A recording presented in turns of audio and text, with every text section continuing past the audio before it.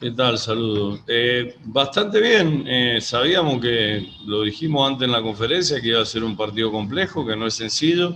Ningún equipo que está en este torneo es sencillo para nadie. Eh, todos los partidos hay que trabajarlos, cuestan, como, como han sido los campeonatos internacionales que, que, hemos enfrentado hasta el momento y no lo, no lo esperábamos de otra manera.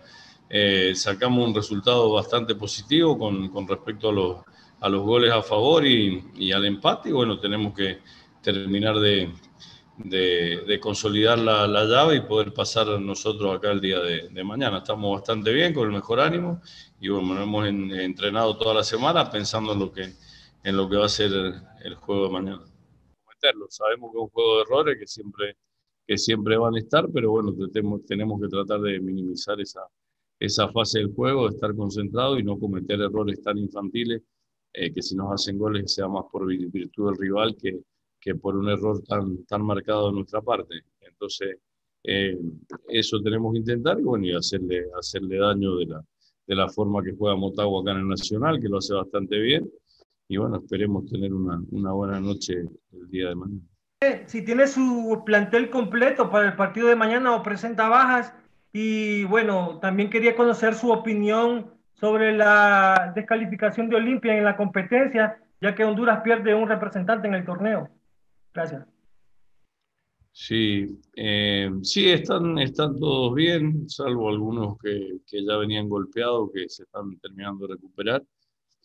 Eh, tenemos todo el plantel disponible. Y en cuanto a lo otro, bueno, lo dijiste vos, que se pierde un representante de Honduras. En ese aspecto no, puedo tener mucho efecto, pero mala leche no soy y no, no voy a aprovechar ni, ni nada para, para, opinar ni para, ni para sumar más, más críticas a lo que ya pasó.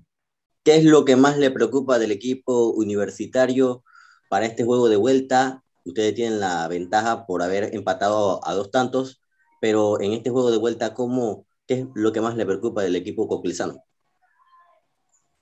Eh, mirá, eh, preocupa, no, ocupa, nos ocupa, eh, bueno, tienen, casi nos hacen un gol a balón parado, tienen buen juego, juego aéreo con, con Torres y con algunos delanteros por su estatura.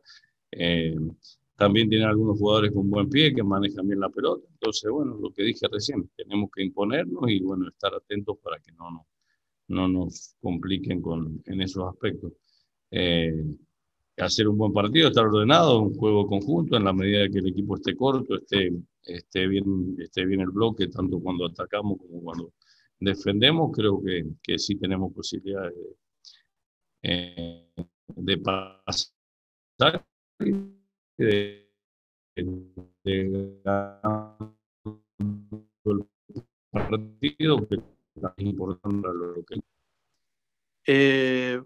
¿Podrá contar, profe, con toda la plantilla para el duelo de mañana ante Deportivo Universitario y algo más eh, eh, específicamente qué necesita mejorar Motagua con respecto al primer partido en Panamá? Muchas gracias. Sí, bueno, la primera ya la, ya la contesté, Roberto. Eh, y la segunda, ¿qué tenemos que, que hacer?